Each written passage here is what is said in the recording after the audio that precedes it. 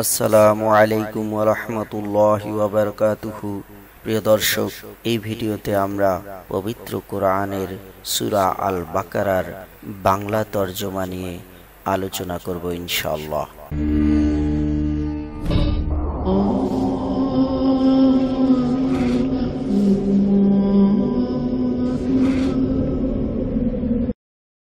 প্রিয় দর্শক, আমরা সুরা আল বাকারার প্রত্যেকটি আয়াতে বাংলা তর্জমা করছি। আয়াত নম্বর একত্রিশ।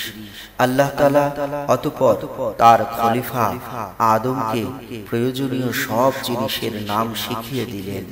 পরে তিনি সেগুলো ফেরেস্তাদের কাছে পেশ করে বললেন, তোমাদের আশঙ্কার ব্যাপারে তোমরা যদি সত্যবাদী হও, তাহলে তোমরা আমাকে এই নামগুলো বলো তো। আয়াত নম্বর বত্রিশ। ফেরেস্তারা বলল, হে আল্লাহ তালা তুমি পবিত্র। আমাদের তো এর বাইরে আর কিছুই জানা নেই, যা তুমি আমাদের শিক্ষা দিয়েছ। তুমি একমাত্র জ্ঞানী, একমাত্র কুশলী। আয়াত নম্বর তেত্রিশ। আল্লাহ তালা এবার আদমকে বললেন তুমি তাদের কাছে তাদের নামগুলো বলে দাও। অতএব আদম, আল্লাহর নির্দেশে তাদের সামনে তাদের নামগুলো যখন সুন্দরভাবে বলে দিল, তখন আল্লাহ তালা বললেন, আমি কি তোমাদের বলিনি যে আমি আসমান সমূহ ও জমিনের যাবতীয় না দেখা বস্তু জানি? এবং তোমরা যা কিছু প্রকাশ করো আর যা কিছু গোপন করো, আমি তাও ভালোভাবে জানি? আয়াত নম্বর চৌত্রিশ। আল্লাহ তালা যখন যখন ফেরিস্তাদের বললেন তোমরা সম্মানের প্রতীক হিসাবে আদমের জন্য সজদা করো। অতপর তারা আল্লাহর আদেশে আদমের সামনে সজদা করল। শুধু ইবলিশ ছাড়া সে সাজদা করতে অস্বীকার করল। এবং সে নাফরমানদের দলে সামিল থেকে গেল। আয়াত নম্বর পঁয়ত্রিশ। আমি বললাম, হে আদম, তুমি এবং তোমার স্ত্রী পরম সুখে এই বেহেস্তে বসবাস করতে থাকো এবং এ নিয়ামত থেকে যা তোমাদের মন চায় তাই তোমরা স্বাচ্ছন্দ্যের সাথে আহার করো। তোমরা এই গাছটির পাশেও যেও না। তা না হলে তোমরা দুজনেই সীমা লঙ্ঘনকারীদের মধ্যে সামিল হয়ে যাবে। আয়াত নম্বর ছত্রিশ। কিন্তু শয়তান শেষ পর্যন্ত সেখান থেকে তাদের উভয়ের পদস্খলন ঘটালো। তারা উভয় বেহেস্তের যেখানে ছিল, সেখান থেকে সে তাদের বের করেই ছাড়লো। আর আমি তাদের বললাম, তোমরা একজন আরেকজনের দুশ্মন হিসাবে এখান থেকে নেমে পড়ো। তোমাদের পরবর্তী বাসস্থান হবে পৃথিবী। সেখানে একটি নির্দিষ্ট সময় পর্যন্ত তোমাদের জন্য জীবনে যাবতীয় উপকরণ থাকবে। আয়াত নম্বর সাঁত্রিশ অতপর আদম তার মালিকের কাছ থেকে হেদায়েত সম্বলিত কিছু পানি পেল। আল্লাহ তালা তার উপর ক্ষমা পরবশ হলেন অবশ্যই তিনি বড় মেহেরবান ও ক্ষমাশীল। আয়াত নম্বর আটত্রিশ। আমি তাদের বললাম, তোমরা সবাই এবার এখান থেকে নেমে যাও। তবে যেখানে যাবে, অবশ্যই সেখানে আমার পক্ষ থেকে তোমাদের কাছে জীবন বিধান সম্পর্কিত হেদায়ত আসবে। অতঃপর যে আমার সেই বিধান মেনে চলবে, তার কিংবা তাদের কোনো ভয়ই নেই। তাদের কোনো প্রকার উৎকণ্ঠিত হতে হবে না। আয়াত নম্বর উনচল্লিশ। আর যারা আমার বিধান অস্বীকার করবে এবং আমার আয়াত সমূহ মিথ্যা প্রতিপন্ন করে লাগামহীন জীবন যাপন করবে, তারা জাহান নামের বাসিন্দা হবে। তারা সেখানে চিরদিন থাকবে। আয়াত নম্বর চল্লিশ। হে বানি ইসরায়েল জাতি, তোমাদের উপর আমি যে সব নিয়ামত দিয়েছি, তোমরা সেগুলো স্মরণ করো। আমার অনুগত্যের প্রতিশ্রুতি তোমরা পূর্ণ করো।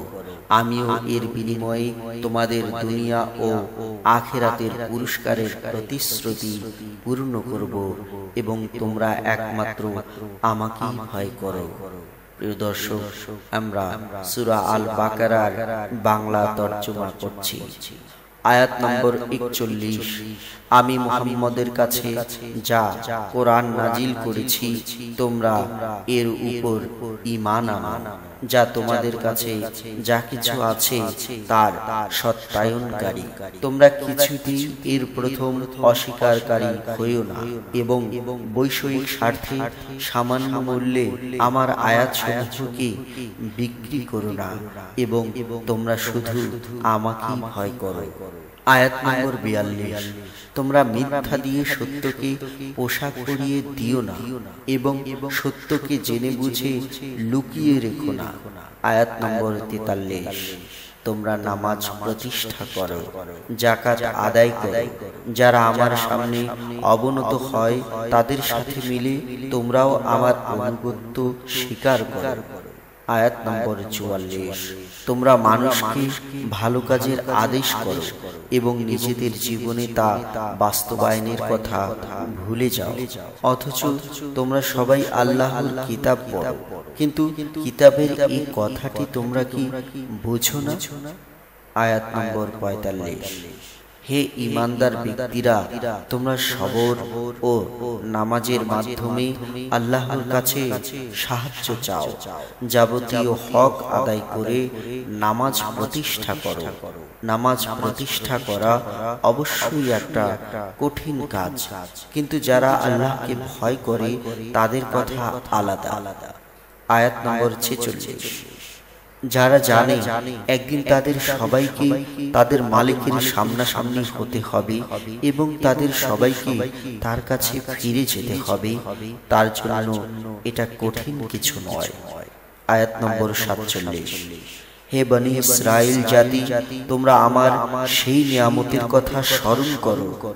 যা আমি তোমাদের দান করেছি। সেই নিয়ামতের মধ্যে একটি ছিল, আমি তোমাদের সৃষ্টিকুলের উপর প্রাধান্য দিয়েছিলাম। আয়াত নম্বর আটচল্লিশ।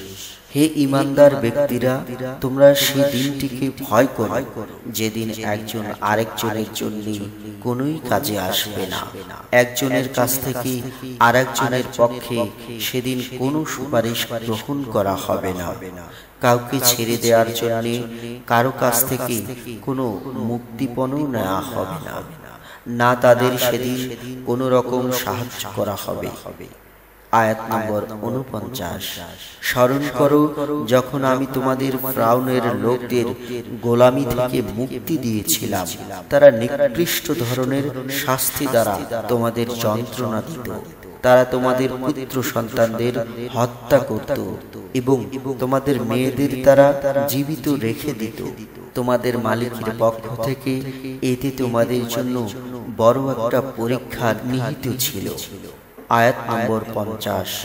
আরও স্মরণ করো, যখন আমি তোমাদের জন্য সমুদ্রকে দ্বিধা বিভক্ত করে দিয়েছিলাম, অতপর আমি তোমাদের সমূহ মৃত্যুর হাত থেকে বাঁচিয়ে দিয়েছিলাম এবং আমি ফেরাউন ও তার দলবলকে সমুদ্রে ডুবিয়ে দিয়েছিলাম। আর তোমরা তা তো নিজেরাই প্রত্যক্ষ করেছিলে। প্রিয় দর্শক, আমরা সুরা আল বাকারার প্রত্যেকটি আয়াতে বাংলা তর্জমা করছি। আয়াত নম্বর একান্ন, আরও স্মরণ করো, যখন মুসাকে আমি বিশেষ একটি কাজের জন্য চল্লিশ রাত নির্ধারণ করে দিলাম, তার যাওয়ার পর তোমরা একটি মাবুদ রূপে গ্রহণ করে নিলে।